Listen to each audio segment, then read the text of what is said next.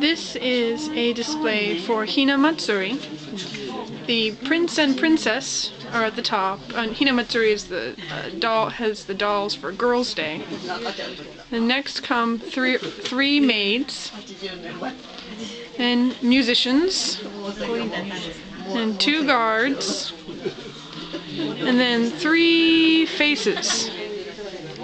This is the happy person, sad, and angry, I believe, are the three. And then other displays down here transportation. A very fan. Oh, here's a mirror. I'll get the Kodas to explain more of these later, or maybe look it up on the internet. But it's a very beautiful display. This one is 80 years old, and it belonged to, I believe, Mrs. Koda's grandmother on her mother's side. So, it's very old and very special.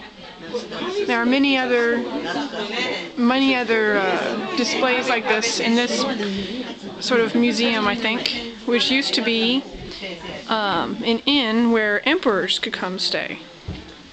So, okay.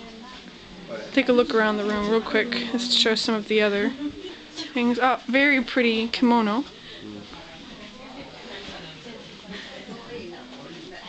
There's lots of pretty kimonos and uh, Hina Matsuri displays in this area.